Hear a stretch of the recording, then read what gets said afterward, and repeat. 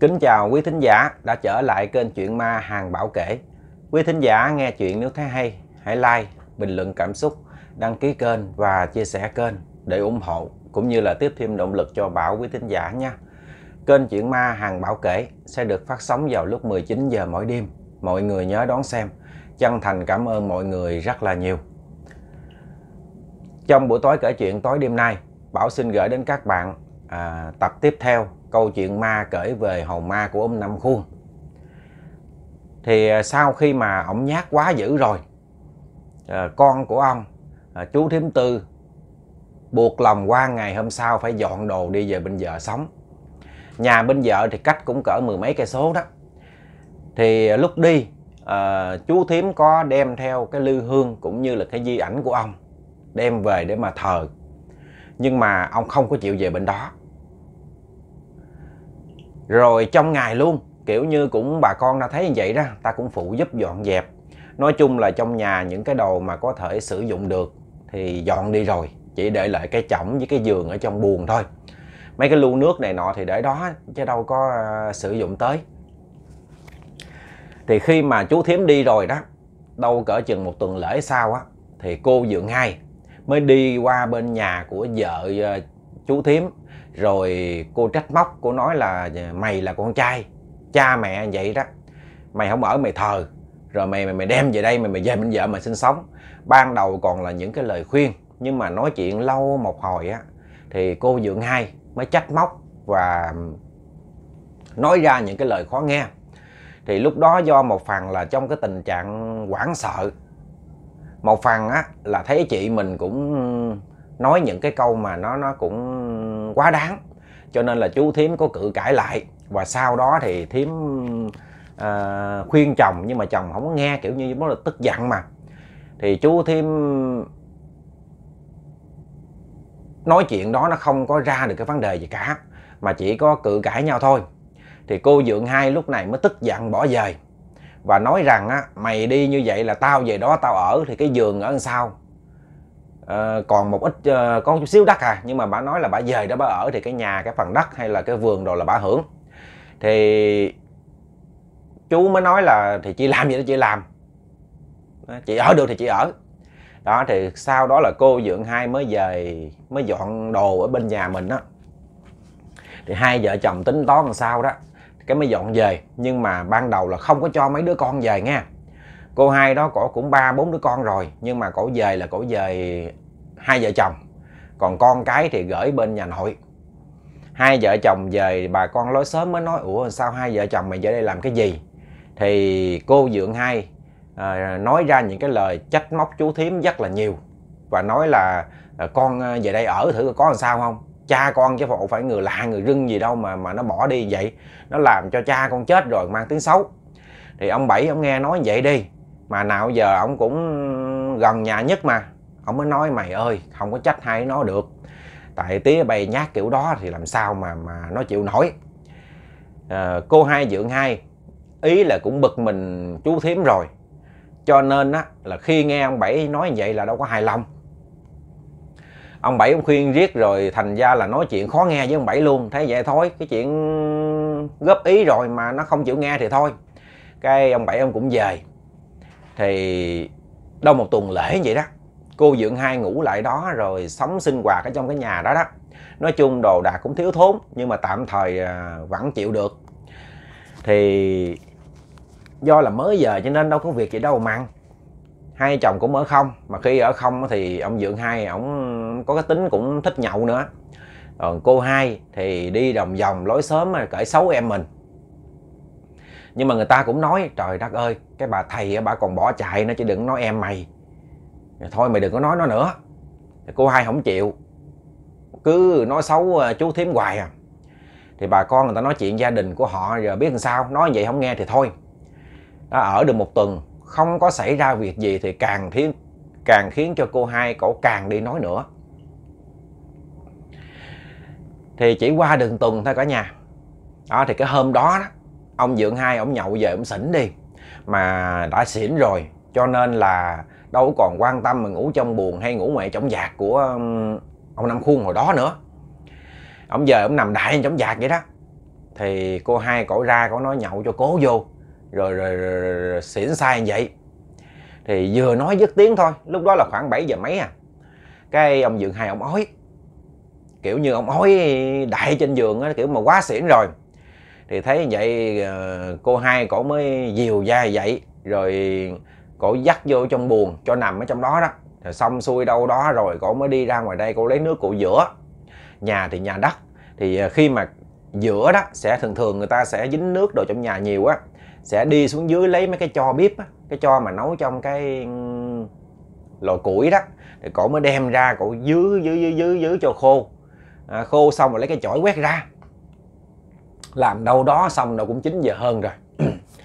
Cái đi vô trong buồng á thì cái mùi ờ, rượu của chồng ti cũng quen nhưng mà bữa nay không muốn quá say xỉn thêm mối này khi nó cũng dính vô người ổng á. À, thêm không có ngủ được mới, mới ờ, lột áo ổng ra cho ông ở trần nằm ngủ. Nằm ổng dên cà hự cà hự hoài. Cái cô hai cổ bực mình đi nhưng mà chồng con không lẽ không lo. Cổ mới đi ra phía sau á cổ nấu nước cậu nấu nước nóng này giống như lấy nước khăn nóng này nọ để lau cho chồng vậy. Thì khi mà cổ à, nấu xong rồi á chín lên rồi nước nó sôi rồi cổ mới đổ ra cái thau. Đó rồi lấy cái khăn cổ hai tay bưng cái thau đi vô. Thì khi mà đi vô chưa kịp quẹo vô buồn nữa mới thấy ở ngoài trước á, ngay trong giạc á, ngồi đóng tụ lụ đó đó. Ngồi mà quay lưng lại với với cổ nha là hướng cái mặt ra ngoài. Thì cô hai cổ tưởng đâu chồng cổ cái cổ mới nói giờ xỉn xây rồi còn ngồi đó nữa hả? Rồi sao không đi vô? Tôi lau nóng cho, ngồi đó làm gì? Cổ mới nạt vậy. Thì khi mà cổ vừa nạt xong rồi á, ông quay mặt lại. Ông năm khuôn quay mặt lại. Tao cha mày nè. Ông nạt cái đó nói là tao cha mày nè. Ông quay mặt lại một cái thì kể như cô hai cổ thấy rồi một cái nghe. Quảng thần kinh liền cả nhà. Cái tay đang bưng thao nước nóng nữa thì lúc đó quảng rồi, đâu còn biết cái gì. Quăng hắt đại lên á, thì nước nóng nó văng lên, rồi cổ la lên, cái nó văng, nó trúng vô cái giò cổ. Thì chúng cũng không có ít mà cũng không có nhiều. Kiểu như chúng từ cái cái đầu gối xuống bị phỏng chút đỉnh thôi. Nhưng mà lúc đó đâu biết đau đâu. Sợ quá đâu có biết đau à. Theo cái phản xạ thì cứ chạy đại vô trong buồng. Chạy vô trong buồng thì mới nhào lên ôm chồng. Cà rung cà rung cà rung hết trơn á. Nói gì, nói với cha ruột cha ruột cái nửa đêm nửa hôm mà 9 giờ mấy gần 10 giờ rồi ông xuất hiện ông ngồi ngay chỗ đó. Tưởng đâu là là là là, là, là chồng ai về đâu không đó thì cổ mới sợ quá đi. Cổ mới nhào lên trên cái cái giường của chồng. Cổ không cứ ngắt mà ổng thì ổng xỉn. Ổng xỉn mà loại đè lên người ổng ổng đau hay là ổng khó thở gì đó ổng la. Ổng la xong ổng quậy. Mà lúc này cô hai cổ quá sợ rồi. Miệng mồm rồi nó cũng cứng đơ hết trơn rồi. Chèo cứng quay hàm hết trơn không có nói chuyện được cứ là ớ ớ vậy không mà thì ông mới chửi. Ông nói mày làm gì mà tao nằm tao ngủ mà cũng không yên với mày nữa. Mày làm gì mà nhảy người tao nó khó thở muốn chết nè con khùng. Chửi dữ lắm nha. Mà ông hiểu sao la um trời vậy đó. Mà bên nhà ông bà bảy không có nghe. Cái ông bực mình ông xô bả ra mà càng xô bả càng quýu. Bả sợ ông buông bả ra rồi ông đi đâu rồi bả sợ bả chịu sao nổi. Đó nhưng mà cái, cái giống như ông xỉn thì xỉn mà cái sức ông mạnh đi ổng mới quặt cho bà văng ra. Bà văng ra văng vô cái vách nhà. Cái ổng mới ờ, đi ra ngoài ờ, trước. Thì cô hai cổ sợ quá cổ đâu có dám bước xuống đâu. Cổ nằm cổ lấy cái mền cổ chùm đầu, chùm đít cho cổ rung trong á. Còn cái ông dượng hai thì ông ra ngoài đây, ông nằm ở trong giạc ông nằm trong giạc ông say, ông xỉn quá rồi. Ông đâu có hay biết gì đâu. Ta nói từ 9 giờ mấy 10 giờ tối á, mà ông nằm ngủ đó thì mũi chích gì đó kệ nó quan tâm còn cô hai á, thì ở trong buồn kiểu như rung hết trơn rồi đâu có la hét gì được. Hồi nãy là la chỉ có mình ông dượng hai la thôi. Sợ quá, rung lẩy bẩy đó mà tới sáng luôn. Tới sáng thì giống như cái cái vết phỏng của cổ á. Cổ sợ quá, cổ đâu có dám đi xuống đâu, cổ đâu có dám la đâu, giờ chân cẳng cổ tê. Máu huyết nó không có lưu thông. Sáng ra cái cổ nghe tiếng bà con đồ đi à, đồng mà nói chuyện rơm rã ngoài trước sau, ngoài đường á rồi nghe cái tiếng chồng cà nhựa cà nhựa nói là sao giờ này chưa dậy? Nằm hoài ngủ hoài vậy? Nghe hết trơn á. Cái cổ mới định ngồi dậy đi. Tại thấy cũng trời sáng rồi định ngồi dậy nhưng mà khi mới vừa chuẩn bị bước xuống cái giường thôi là chân cẳng nó tơi té ngang một cái bịch luôn. Té ngang một cái bịch luôn. Đó thì lúc này ông dưỡng hai ông đâu còn xỉn nữa ông mới thấy vợ ông, ông té như vậy ông mới chạy vô ông đỡ lên. Đỡ lên xong rồi ông thấy là bả lại bây giờ là giống như là chân tay bủng rủng hết trơn giờ chân tay bả lên á thì thấy tay của bả bủng rủng kiểu như là nó tê á cả nhà. Rồi nó, nó, nó, nó lâu quá như vậy đó. Thì phải chở mới, mới chạy ra rồi hô quán bà con mới đưa bà đi nhà thương. Đưa lên nhà thương người ta nói trời ơi sao mà để cho chân tay mà nó nó nó nó nó, nó tê đến cái mức độ như vậy? Cái này là tê lâu dữ lắm nè. Cái này mà mà mà không khéo là là liệt chứ không phải chơi đâu đó, thì may mắn cái đợt đó cũng chưa sao. Đó thì vô trong ở nhà thương ở mấy ngày vậy á cổ cũng cũng đỡ lại đi. Mà nhà cửa của cổ thì nói nào ngay bên ông dượng hai cũng có ăn. Cho nên là là cái việc mà lo thì không có sao. Cái mấy bữa đâu hai bữa sau vậy cổ mới dám kể nha. Cổ kể cho chồng cổ nghe là đêm đó là gặp ờ, uh, cha ruột như vậy đó. Thì dượng hai ổng nói hết thằng ờ, đó là tới mày.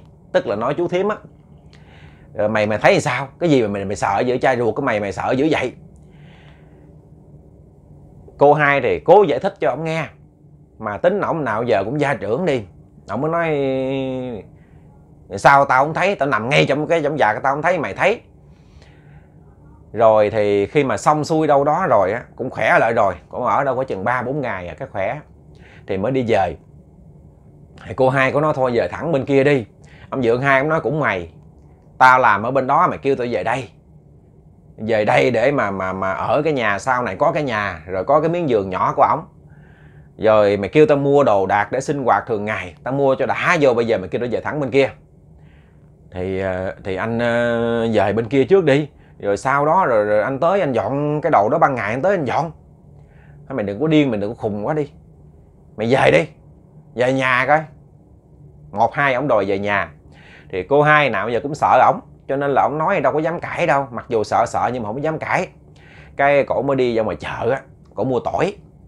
Cổ mua tỏi mà cổ xỏ thành một sâu luôn nha.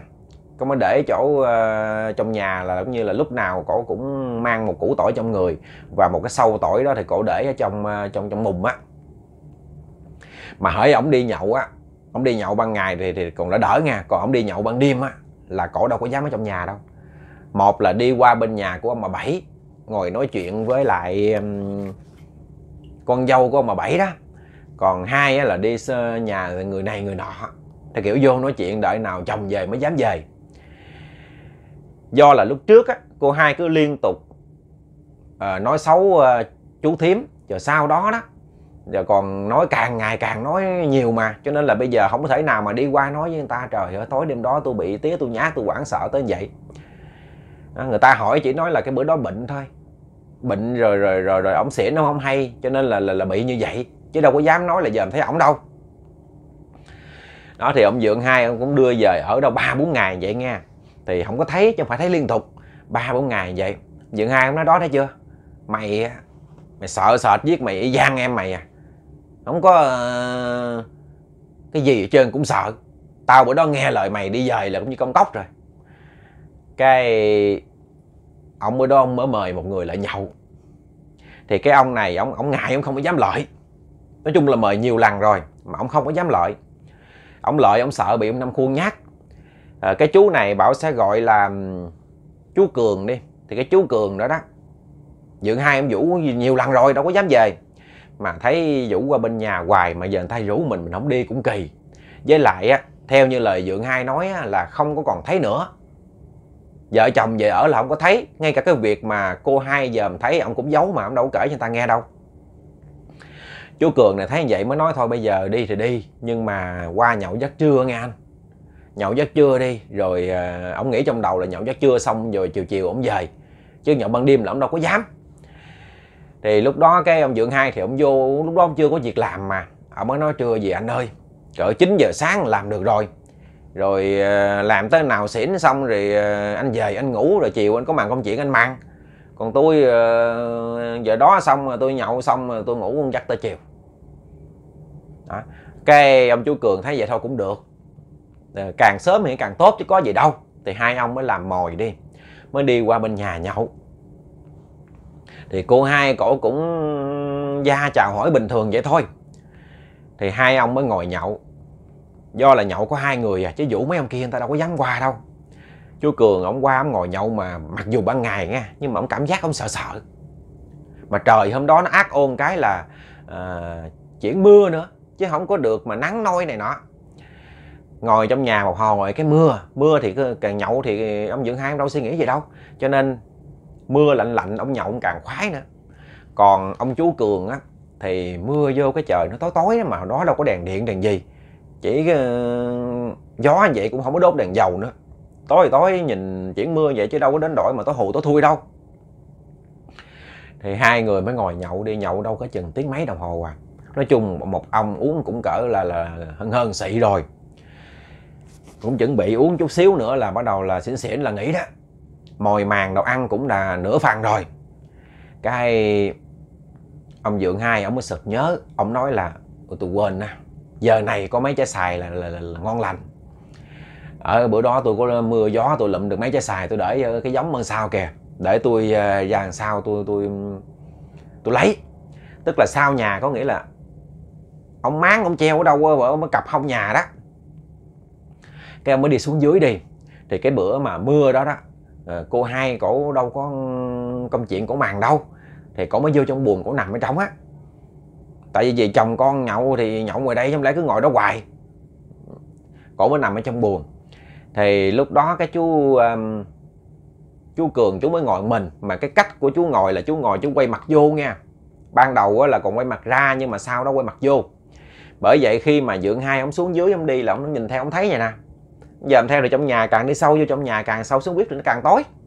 Nhưng mà do ánh mắt cũng quen rồi cho nên chú cường vẫn dòm ra được xuống dưới thì ông dượng hai ông mới đi xuống dưới ông lấy. Ông mới chờm chờm cái tay lên vậy nè. Chú cường thì dòm xuống thấy cái lưng ổng mà trời đất ơi vừa thấy cái lưng ổng thì giống như ông ông năm khuôn á. Ông hiện hồn mà không biết ông ở đâu.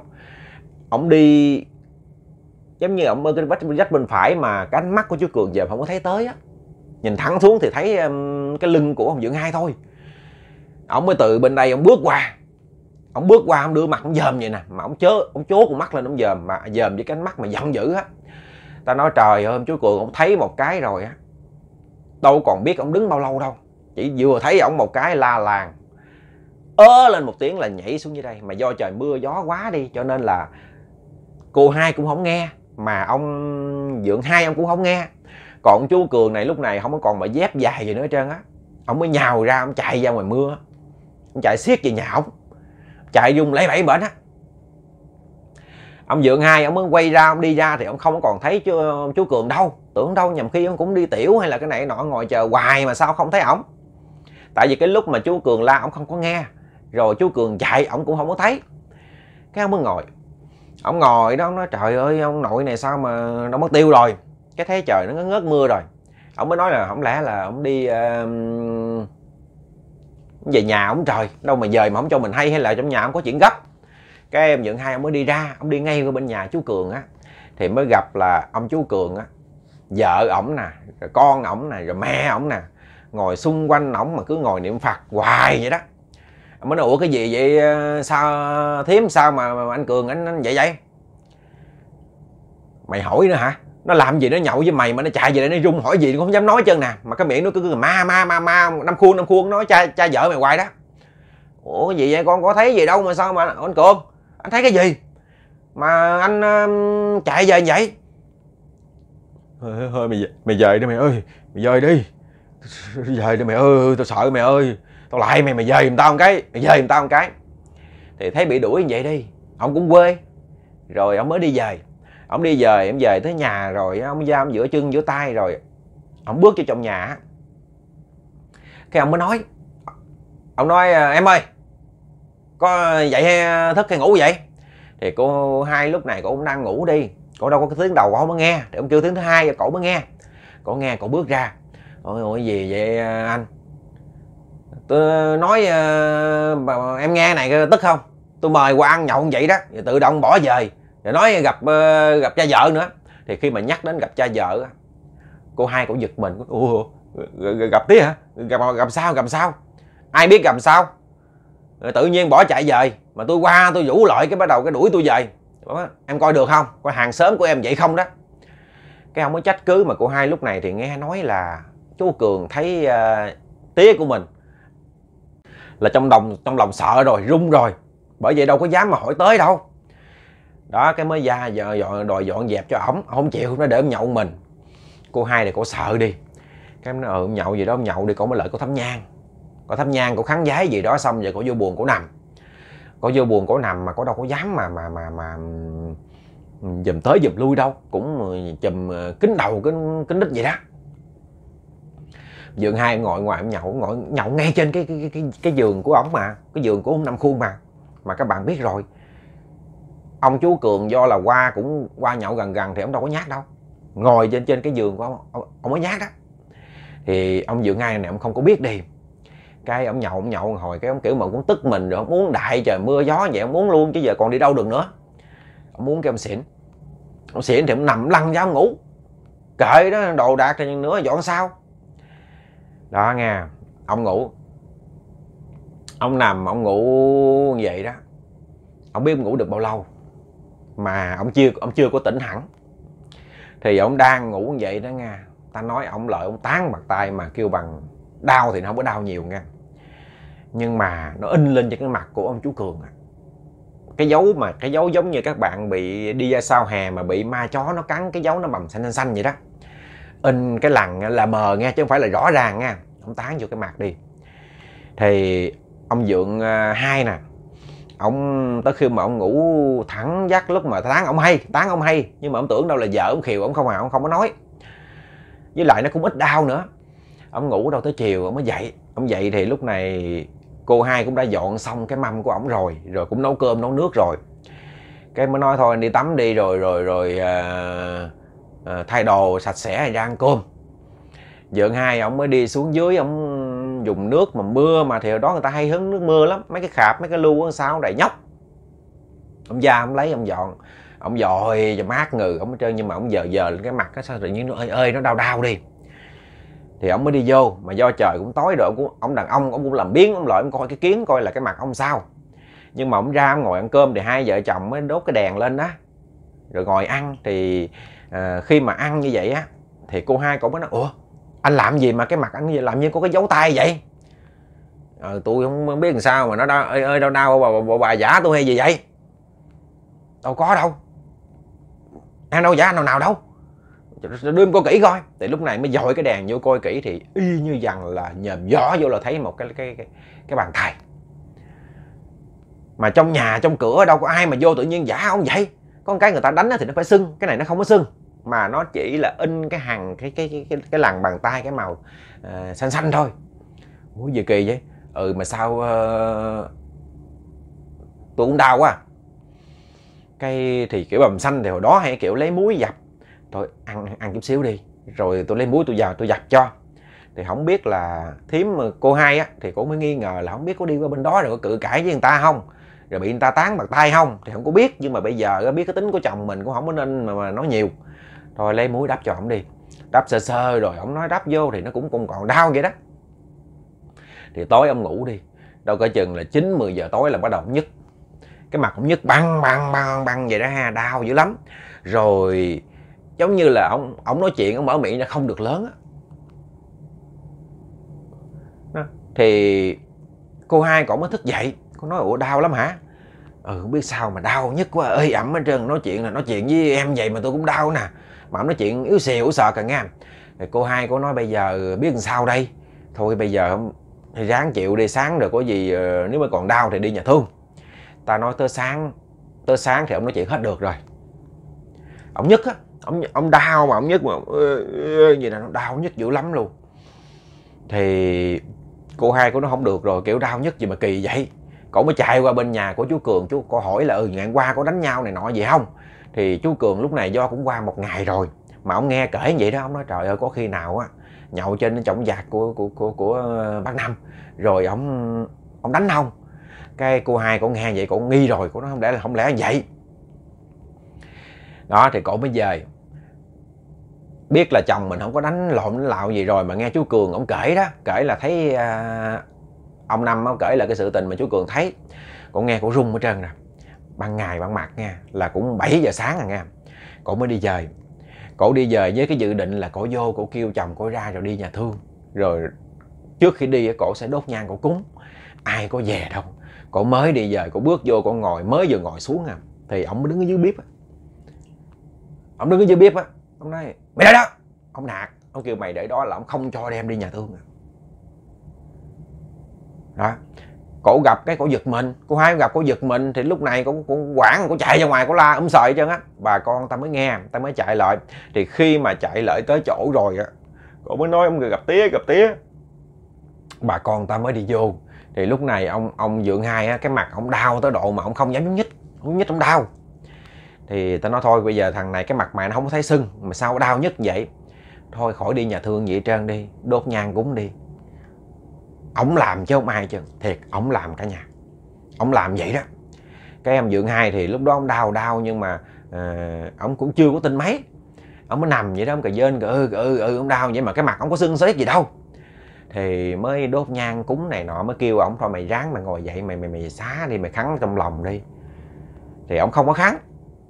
Ổng nó đau quá rồi ổng nằm. Nó cứ đau quá đau quá nằm. Chỉ vậy thôi đó. Thì nằm hoài đâu có hết đâu mấy tiếng đồng hồ sau cũng đau hoài vậy nha. Đó, thì lúc đó đó, người ta mới cúng, người ta mới nói à, thôi bây giờ con anh nó nhỏ dại, nó không biết, thôi anh bỏ qua cho nó đi.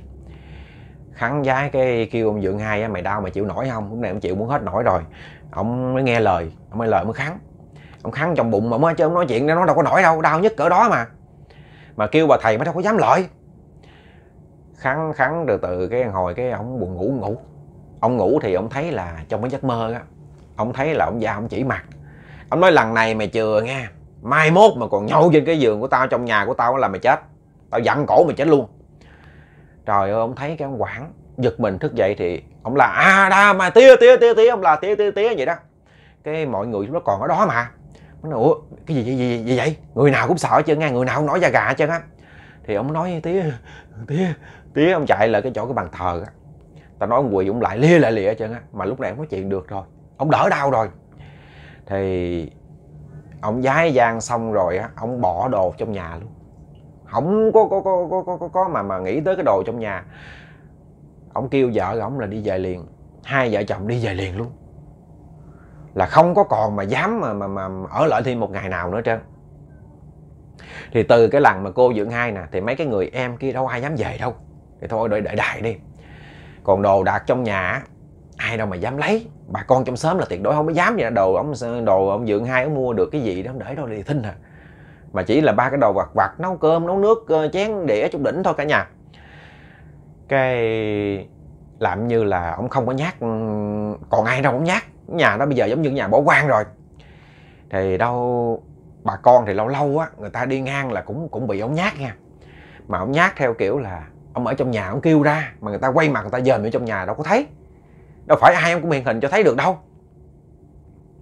Thì từ đó cái ông năm khuôn này ông nhát cũng cũng nhiều nhưng mà ít có khi nào thấy ông hiện hình lắm. À, tới sau cái đó đâu cái đâu cỡ năm mấy á thì trong năm mấy nay á ông cũng nhát chứ không phải là ông không nhát đâu. Ông nhát người ta ta biết ông nhát nhưng mà ông không hiện hình cho người ta thấy. Ông nhát gần ngằn nhà nào không à. Cái bữa đó có vợ chồng chú này cũng xui đi. Vợ chồng chú này kiểu như mới cưới nhau á rồi ờ, đi về hỏi thăm hỏi thăm nhà của bà út mết đó, nhà bà út mết thì ở cách nhà của ông năm khuôn đó đó là đâu cỡ chừng hơn hơn nửa cây số à. Thì hai vợ chồng do là lâu rồi đâu có tới đâu.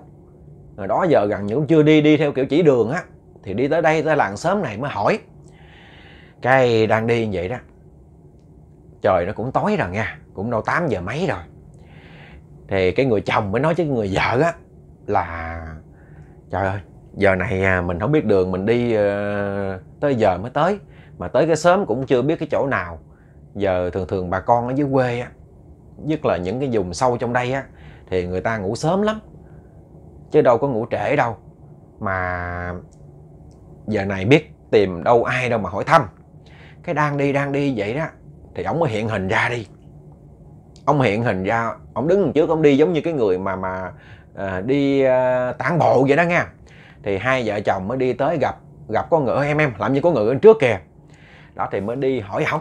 Đi tới đó đi tới thấy cái ông này mập mạp nghe mà hai chồng đâu có biết ổng đâu. Cái giờ mỏng thấy một cái ông lớn con mập mập.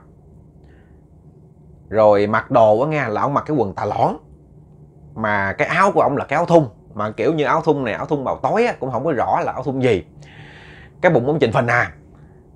Thì ông chồng ông mới nói thầm trong bụng nghe ông nói thầm trong bụng thôi. Ông nói là ông nội này ông làm gì ông mập dữ trời bụng chân ướng trời. Là ông chỉ suy nghĩ trong đầu ông vậy đó. Thì ông đang dòm vậy cái ông nói tao mập kệ tao. Làm gì mày mày mày mày mày mày nói? Đó thì cái ông chồng này ông mới giật mình đi ông nói trời ơi sao mình nghĩ xong trong đầu mà mà ông biết? Nhưng mà dẫu sao á là cũng đâu có nghĩ tới chuyện ma đâu. À, cái ông chồng với cái bà vợ cái cô vợ này nè. Cái cô vợ mới tưởng đâu là nhầm khi chồng mình thì cái tính hay dòm người này người kia cái ánh mắt dòm hơi sâu mà cái ông này cái tướng tá ông mập mạp vậy đó tướng ông xấu vậy đó dòm vậy chắc ông đoán được. Thì cái cô vợ á cổ mới nói là dạ ông ơi ông cho con hỏi là là là cái nhà bà út mết nhà nào vậy ông? Mày hỏi nhà hả? Dạ con hỏi nhà. Mày sao với bả nói chuyện y gian người sống vậy đó cả nhà hỏi mày sao với bả thì hai vợ chồng mới nói là ờ, con là cháu. Ờ, lâu quá rồi không có lúc mà con con cưới ờ, còn trẻ còn nhỏ lắm mà theo cha mẹ về đây. Thì cái người chồng mới nói là con theo cha mẹ về đây. Rồi sau đó con cưới vợ. Rồi bây giờ mới dắt vợ tới nhà của ờ, bà út chơi. Rồi à, lâu quá con không có nhớ nhà nên con tới đây thì con hỏi ờ để tao dẫn mày vô. Thì ông mới đi. Ông dắt đi đi theo ổng nha. Đi theo ổng đâu cỡ ừ, đón chừng hai chồng đi đón chừng cỡ chừng trăm mấy hai trăm thước à. Thì ổng mới chỉ nó cái nhà kìa. Thì hai vợ chồng dòm vô thấy cái nhà. Mà kiểu dưới quê hồi đó thì nhìn nó cũng quen quen. Cái anh chồng anh mới tưởng đâu thật. Thôi cảm ơn uh, ông nhiều nha. Còn cảm ơn ông. Ừ hai bay vô đi. Cái ông nói xong cái ông đi mất tiêu. Hai vợ chồng thấy vậy mới đi vô thì khi mà đi vô cái gặp cái cửa nó mở đi. Cái mình nói, ủa, sao em ơi em, sao mà nhà cửa gì mà không lẽ bữa nay có công chuyện gì gấp mà bà út bà đi đâu có trơn rồi sao cái cửa mở kìa? Ừ không lẽ dưới quê không có ăn trộm cho nên người ta không mở cửa, nhưng mà sao giờ như trong nhà thấy tó hụ tó thui vậy anh? Cái em chồng đứng chỉ chỉ em chỏ chỏ không nói, thôi bây giờ kệ đi, hỏi, bà út ơi, bà út ơi, bà út có nhà bà út ơi. Con nè con nè bà út ơi. Kêu hoài kêu hoài mà nghe em ru vậy nghe không có ai trả lời chân á. Thì cái cô vợ này cổ cũng thắc mắc đi, cô nói, ủa, sao không có ai trong nhà? Mà theo như cái lời chồng mình nói là nhà bà út mết đó con cái bà đông lắm. Con cháu bà đông lắm. Mà sao giờ không có ai trống hết trơn? Không lẽ cái ông đó ông gạt mình, ông chỉ dẫn mình vậy? Thì hai vợ chồng mới kêu đi, kêu quá trời kêu mà đâu có dám xâm vô nhà. Thấy không có rồi cũng chưa biết tính làm sao hết trơn á. Thì ở bên đây nè ông bảy ông mới nghe. Ông bảy ông mới nghe, tại vì từ ông nói nói nào ngay hồi đó, giờ ông ở bên đó vậy đó. Thì ông cũng hay mà nghi nghía qua lắm. Ông sợ người ta bị nhát. Rồi giết nó thành thói quen. Thì bữa đó ông cũng ngủ chưa có sâu. Cái ông mới nghe, ông nói, ủa, sao giống như cái tiếng của ai kêu mà nhà bà bà út ơi, bà út ơi, ở đây đâu có ai thứ út đâu. Ông mới đi ra ngoài, ông dòm qua. Ông dòm qua thì trong màn đêm ông mới thấy làm như có hai cái bóng người đứng kêu là giờ em ơi, em không có nhà, tính sao? Thôi giờ đi ra đi nó tìm tìm tìm gì đó. Hai hai chồng cứ đứng dòm dòm vô hoài. Ông mới biết rồi, ông nghi rồi. Ông mới nói, ủa, ai đứng đó vậy? Thì hai vợ chồng mới nghe cái tiếng của ông lớn tuổi mà không có giống như tiếng ông hồi nãy. Mới quay lại thì cũng chưa có thấy rõ. Cái ông bảy nói, lại đây nè, lại đây nè. Nhà tao đây nè, tao muốn tìm nhà ai tao chỉ cho. Bây giờ hai vợ chồng vô cái thế này rồi. Đâu có càng biết là là là ai đâu, thôi bây giờ cứ lợi hỏi người ta thì họ mới đi lợi. Ông bảy mới đốt đèn lên mà ông kêu vô trong nhà nha hai chồng ngại không dám vô. Thì lúc này bà bảy bà cũng ra, rồi con cái của của ông bảy cũng bước ra, rồi kêu vô. Nói hai đứa bay đừng có ngại vô đây đi, tao nói, chứ đừng đứng ngoài. Thì hai vợ chồng mới thấy sao ông này, ông làm cái cái cái vẻ như là có cái gì đó sợ sệt lắm. Nói hồi thì hai chồng cũng bước vô. Bước vô rồi á, thì ông bảy mới nói, bay tìm nhà ai mà sao lại đứng chỗ đó? Hai vợ chồng mới nói con tìm nhà bốn mét quỷ thằng ơi nhà bốn mét cách đây hơn nửa cây số. Phải mà út mết đó, đó, đó vậy không? Hai chồng mà vậy đúng rồi đúng đúng rồi đúng rồi. Ai mà chỉ tụi bay vô đây ác nhơn vậy? Dạ cái ông đó ông lớn lớn con ông mập mập cái bụng trình bình nè rồi ông chỉ hai chồng con. Thì nghe diễn tả cái tướng là ông bảy ông biết rồi. Ông mới kêu con ổng á thôi mày đưa nó qua bên nhà của chị út mết đi thôi tía ơi tiên mình con cũng ớn quá tía ơi. Mày đi ba người đi hai chồng nó mà ớn gì? Nhưng mà quẩn về về có mình à tía. Thôi giờ tao đi với mày. Ủa sao mà mà mà chỉ đường em đi được rồi má công ban đêm ban hôm làm phiền anh với với, với, với, với bác? Rồi để cho tao với nó đưa bay đi. Qua bên đó đi rồi tao nói bay nghe. Hai vợ chồng cũng thấy cái gì đó nó nó nó nó nó, nó kỳ kỳ rồi.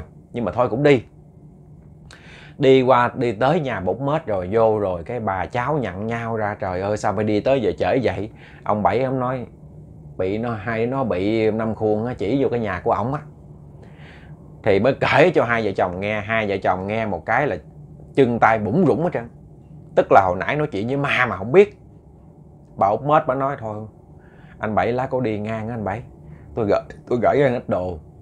Anh cúng giùm tôi coi hai đứa nhỏ nó lâu rồi nó nó nó cưới vợ nó tới nó dẫn tới là để mà thăm tôi.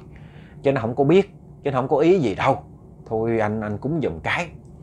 Ừ thôi uh, chị út yên tâm đi. Lát nữa tôi về được cúng giùm cho. Cái mới về ông cúng. Ông đi vô trong nhà ông để đồ. Ông không có vô thẳng trong nhà nha mà ông ông đứng ngoài ông để đồ đó đó. Rồi ông cúng. Cúng xong rồi hai cha con về. Đó, thì cái lần đó là kể như vợ chồng của cái, cái, cái chú này là hết hồn bên dưới luôn rồi đó. Nhưng mà dẫu sao là ban đêm. Đó. Thì có cái vụ của của cái cái cái chú này nè là ban ngày luôn nha. Cái chú này hồi đó chú đi bắt mật ong chú đi ban ngày. Chú bắt ong á. Thì đi bắt ong mà chú cứ lòn lòn ở phía sau vậy nè. Chú bắt. Mà hồi đó ong thì nó nhiều. Mình bởi vì che rồi người ta ở, ở cũng ít đó. Ong nó dạng lắm nó, nó đóng mổ dữ lắm ông bắt cái nó nhiều quá đi thì ông mới đi ông mới đi tới cái chỗ đó đó là cái chỗ đó là sau hè nhà của năm khuôn á. Mà lúc lúc vẫn sao là nghe. Ông mới nói thôi bây giờ nó nhiều, nhiều quá rồi mình sách cũng không có hết. Thôi mình đi đại ra ngoài đường mình à, bán bớt rồi mình đảo vô đây mình bắt. Tại vì theo cái hướng mình nhìn thấy thêm mấy ổ nữa nè. Ông nghĩ vậy đi rồi ông cũng khát nước nữa. Mà hồi đó thì kiểu mà đi bắt vậy chứ cũng ít đem theo nước lắm cả nhà. Rồi đi gặp đâu có nước ghé xin kiểu mà cái sinh hoạt hồi đó quen à. Hoặc là đi gặp mấy cái chỗ nào có nước như kinh này nọ, người ta uống nước, hồi đó nó cũng không có sao. Uống nước với kinh là cái chuyện bình thường à. Bởi giờ đi là ông không có đem theo nước đi. Cái ông mới đi ra, ông đi ra thì đi ra lỡ gặp nhà nào thì mình xin nước uống. Thì ông mới đi ra cái hông nhà của ông ông năm khuôn á ông đi ngang nhà vậy nè thì kiểu mà vừa đi muốn bán mà giống như dòm dòm vô nhà cái coi là có ai không? Đặng mình hỏi người ta coi mình xin nước uống chứ hỏi người ta có mua mật ong không? Không đó thì ông mới dòm cái nhà của ông này sao ông thấy là cái nhà này giống như không ai chăm sóc hay gì mà mà nhà nhìn nó nó nó, nó dơ quá. Thì ông dòm sơ qua cái ông gặp ông năm khuôn ngồi trong nhà. Ông ngồi ở trong á. Thì cái ông này ông mới dòm vô ông thấy ngồi vậy đi ông mới nói à, ủa bác ơi bác à, bác chú ơi chú à, cho con xin à, miếng nước. Thì ông mới quay ra ông dòm ông dòm cái ông mới nói tại vì cái nhà ông mới cả nhà. Thí dụ như mặt trời á là buổi sáng nó nằm ở cái hướng bên đây đi thì nó nắng còn buổi buổi mà trưa trưa nó đứng bóng ở trên thì nó đỡ nắng và nó ra phía hai ba giờ ra phía sau một chút á là cái nhà nó nó mát rượi à. Nhưng mà khi nó mát vậy nó sẽ tối. Mà bữa đó thì nắng cũng không có nhiều nữa cho nên là ở trong cái góc mà tối tối á mình đang đi ngoài nắng thì mình dòm vô cái nhà nó thấy tối lắm. Với lại dòm nhà người ta mình không có được dòm kỹ nó không không nó, nó không có nên nó, nó kỳ lắm. Bởi vậy cái ông chú này ông dòm sơ qua ông thấy con ông ngồi đó mà ông ở trần ở trần mặc cái quần tà lõn ngoài cục thù lù vậy đó. Ông mới hỏi ông mới nói là chú bác ơi cho con xin miếng nước. Cái ông mới nói ông chỉ cái tay ra ngoài cái lu nước ông nói nước đó uống đi thì cái giọng nói hơi khó chịu nha nhưng mà giờ bình thường thôi. Thì người ta cho người ta gánh nước ở dưới sông lên cũng cực khổ. Rồi không có tiếc gì với mình đã cho mình thì mình cứ cứ, cứ, cứ uống thôi. Còn cái kiểu mà người ta nói hơi khó chịu thì nhầm người người này người kia hoặc là cái âm thanh của người ta phát ra như vậy. Ông mới đi lại ông lấy nước ông uống. Do là khác á. Rồi ở trên đó thì các bạn biết đâu có cái gì đâu. Toàn là cái cái cái gáo dừa không à mà gáo dừa theo kiểu là nó nằm sẵn ở trong cái lu á chứ đâu phải nằm ở ngoài tại đâu có ai ở đây đâu mà mà mà, mà múc nước chỗ đó. Mà nước thì kiểu như cái lu này nó không có đậy cái nắp cho nên là những cái cơn mưa đó rồi nó tạt này nọ vô nó có nước. Ông mới thấy không có cái ca nào đi ông mới nghĩ là nhầm khi thì cháu trong lu thì đưa mắt ông dòm vô vậy nè. Mà ánh mắt của ông thì mới dòm vô cái lu nó cũng tối ôm mà. Dòm vô cái ông ông đưa cái tay xuống ông thấy cái gáo dừa ông mới múc một cái ông đưa lên, ông đưa lên dừa tới miệng ông như nè. Ông để vô miệng rồi, ông chưa kịp uống thì cái mùi nó thúi cái nước nó bị oi thúi rồi, nó thúi quắc hà cái ông mới phun ra, ông nói, trời ơi, gì vậy? Thì ông này ông mới dòm lại. Cái gáo dừa ông đưa ra sáng ông dòm nè. Ông dòm thì ông thấy ở trong ta nói là bụi bặm, lá cây gì tùm lum hết trơn á. Giờ lăng quăng á cả nhà. Mấy con lăng quăng á, rồi tao nói, trời đất ơi, con nào nó đang thù lùi đang mung. Tùm lum hết trơn á mà nước nó cặn không à. Tại vì nước nó còn ít chứ đâu phải nước nó nửa lu hay là nó hơn nó gần nửa lu gì đâu. Ông mới tức mình đi ông nói ủa ông bác ông bác nào không cho thôi ông làm gì ông chỉ cái lu nước thúi cho mình. Thì ông muốn tự ái ông tức ông mới quay vô ông dòm dòm ông kiếm. Thì ông không thấy nữa. Cái ông này ông mới tức đi. Ông tức mình ông mới đứng ở ngoài ông nghĩ là ừ, chắc là vô trong buồn rồi. Cái mới nói chú ơi chú ăn ở vậy thắt nước lắm á. Con này đi màng khát nước thì con xin nước của chú mắc mớ gì mà chú uh, không cho là thôi. Chú chỉ cho con ly nước thúi cái cái, cái, cái, cái lu nước thúi. Uh, xem cho con uống vô là, là, là bệnh con bệnh hoạn vài chịu ông tức mình ông đứng ông nói đi. Đó thì bà bảy ở bên nhà lúc đó không có bà bảy ở nhà. Bà bảy ở bên nhà bà mới nghe. Bà nói ủa cái gì ai to tiếng bên bên nhà bển vậy? Ông bà mới đi ra bà dòm. Bà dòm thì bà thấy cái ông này cái dòm dòm ngó ngó ở trong nhà. Mà ông dòm ông không có dám vô nhà nghe mà ông đứng dòm dòm mà kiểu ông tức mình tức mẩy lắm cái bà bảy bà mới kêu bà nói ơi ơi cái thằng kia mày làm gì mày đứng trước cửa nhà người ta mày la ngó gì vậy? Bà làm bộ bà nói vậy đó. Cái cái cái chú này chú đang chú đang tức mà chú mới nói ờ, bà bác coi được không bác? Ông nội ông chủ nhà này nè con khác con xin ông cho ông cho thôi ông chỉ con cái lu nước thuốc quắc vậy cho con uống. Ông khi dễ giờ người gì mà ông khi dễ dữ vậy? Bà bảy biết rồi. Nó ơi trời ơi nhầm khi uh, tao quên mày ơi thôi mày qua đây nè nước nhà tao nè mày uống. Cái nghe bà bảy bà nói vậy cái ông cũng đi qua. Ông đi qua kiểu mà ông tức mình nó thấy là ông này ông trốn trong nhà rồi. Ông tức quá ông đi qua chỗ bà bảy ông nói. Ông mới nói là, là ông cởi lời y chang vậy đó. Bà bảy bà nói bà thấy ban ngày mà cho nên bà cũng nói. Bà nói mày uống nước đi rồi mày đừng có đi ra sau hè đó nữa. Ủa sao vậy bác? Bộ ờ, ông đó ông có con cháu đồ này nọ, nó nó nó hung dữ hay sao vậy bác? Không phải. Cái nhà đó, cái nhà hoang. Đâu có ai đâu mà ở. Hồi nãy mày gặp á, gặp ma. Cái ông đó ông nhát dữ lắm. Phải mày gặp cái ông mà cái tướng mặt mập bụng chỉnh bình không? Ờ ờ đúng rồi bác. Mà đó mày ơi, đâu phải người.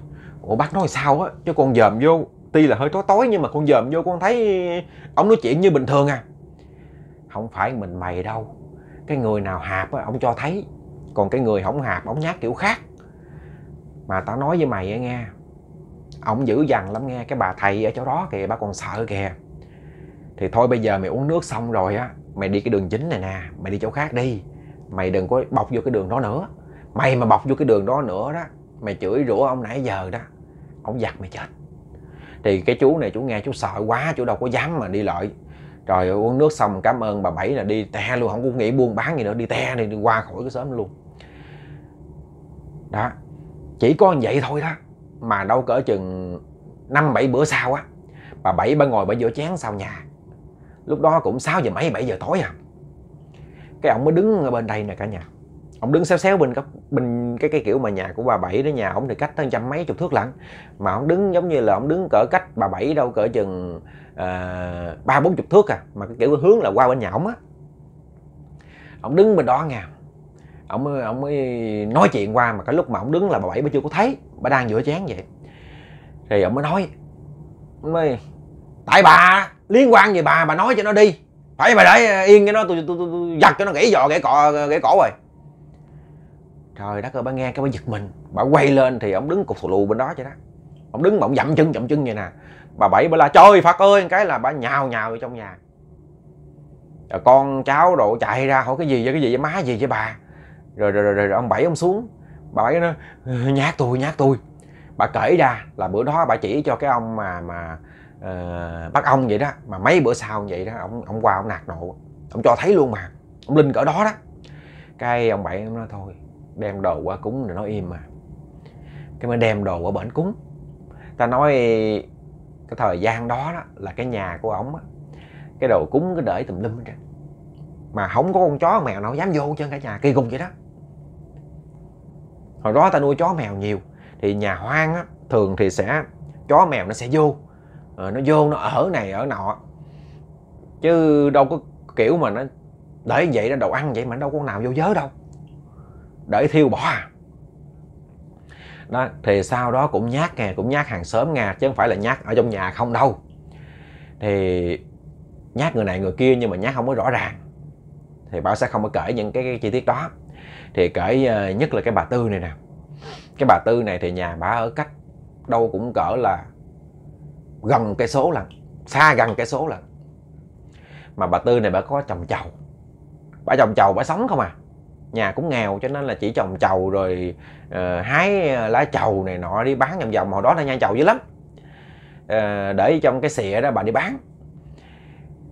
Mà cái giường của bà thì nó ở gặp cặp cặp nhà giống như cái nhà bà thì nằm bên trái vậy nè. Con cháu bà thì nó mằng mướn mằng thuê nhầm khi đi làm ban đêm ban hôm đổ đi mằng bà tư ở nhà có mình ơn à. Cái tối bữa đó bà cũng ngồi ở nhà bà chờ cỡ như chừng 7 giờ mấy á. Thì chừng khoảng chừng không bao lâu nữa là con cháu bà nó về rồi. Thì bà mới ngồi bà ngồi ở trong nhà mà cũng nhai chầu vậy đó. Thì bà nghe cái tiếng ở bên hông nhà ông la lên ông nói là ờ, tư vậy tư. Ờ, ra lẹ ra lẹ nó nó ăn cắp chậu của bà kìa nó ăn cắp chậu của bà kìa. Thì bà nghe cái bà mới giật mình mà kiểu bao như bà lớn tuổi rồi. Cái gì? Cái gì? Đứa nào ăn cắp chậu của tao? Bà mới bước chân xuống bước chân xuống khỏi cái chõng già của bà. Bà đi ra bà lụm khụm bà lụm khụm bà đi ra bà cầm cái cây. Tổ cha thế nào ăn cắp chậu của tao? Tôi nè bà tư ơi. Ông vừa nói tôi nè bà tư ơi thì cái bạn biết cái cái vàng chầu á nó mỏng nhánh vậy nè. Mà ông đứng một cục thù lù ở trên cái vàng chầu á ông chanh miệng và ông cười ông nói à, tôi nè chị tư ơi. Trời đất ơi bà tư bà gặp con cái là bà bà quăng cái cây rồi bà chạy vô trong nhà bà chạy lại bằng thờ bà thắp nhang bà, bà niệm phật bà lại lia lịa hết trơn. Giống như bà lại để ông bà tổ tiên phù hộ cho bà rồi đó tại bà biết ông năm khuôn. Bà tự biết ông năm khuôn. Bà đi bán chậu này nọ bà cũng qua lại cho nó hoài chuyện đó bà quá rành rồi. Mà vậy đó mà ông ông qua ông nhắc tới bên đây là cách đầu cây số đó. Cái bà con tao nói trời đất ơi cái gì mà nhát dữ vậy? Cách cái cây số mà qua bên đây nhát.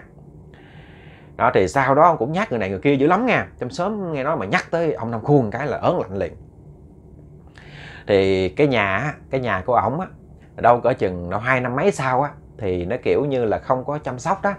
Rồi hồi đó nhà cửa anh ta ở nhà tre là nhiều cho nên là ở nhà phải kiền giữa cái nhà với lại những cái cây cây cối này nọ xung quanh. Nhưng mà do là không có ai kiền này nọ đó cái nó nó, nó mưa dông rồi đó dông cũng dữ dông cái nó sập cái nhà. Nó sập cái nhà thì sập thì để đó thôi chứ bây giờ con con cái mà không về gỡ thì ai đâu mà dám vô đó gỡ đó, thì chỉ có gần tết rồi thì con ca con cháu của ổng mới về dãy dãy mã nhưng mà dãy ra dãy xong rồi cúng kiến xong lại về chứ không có dám mà ngồi nói chuyện gì trơn á sợ dữ lắm. Cái nhà nó sập rồi bà con người ta mới đâu có biết đường đâu. Vậy mà ông qua ông kêu ông bảy cả nhà.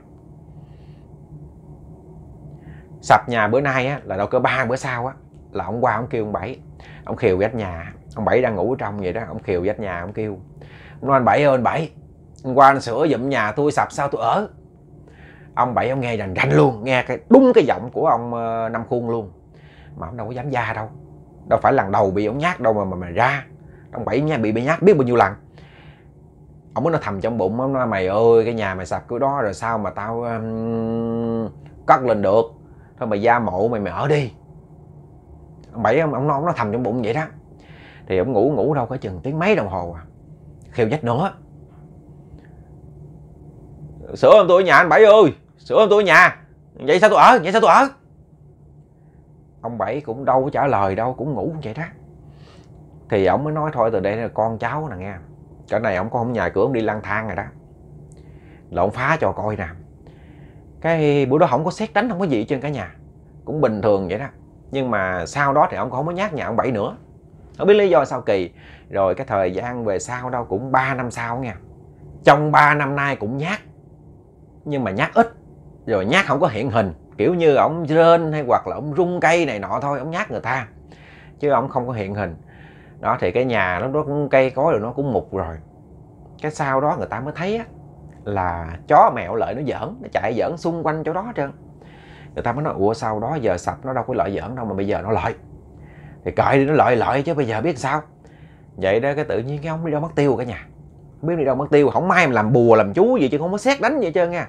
Mà tự động không thấy ông nữa, làm như cái nhà nó sập rồi, ông vướng lợi thời gian nữa, rồi ông ông thấy vậy ông cũng lạnh lẽo hay sao đó, rồi ông đi. Chứ không có ai mà cúng kiến, cũng không có thầy bài nào về kêu đi tu gì hết trơn á. Cũng không có xét đánh gì hết trơn á, tự động mất. Bởi vì tâm linh nhầm khi nó vậy cả nhà. Chứ hồi như cái người kể chuyện nói là đó, như là không có ai mà yểm bùa hết trơn á, cũng không ai mà trắng mộ hết trơn, ai mà dám rồi từ từ, từ ông cũng nhát vậy đó mà tự nhiên cái ông im cái im mất tiêu luôn. Giống như là ông chưa từng nhát người ta vậy đó. Im là im luôn vậy đó mất tiêu luôn. À, rồi thì đó là kết thúc của câu chuyện. Bảo xin chào hẹn gặp lại. Chúc mọi người có một đêm ngon giấc.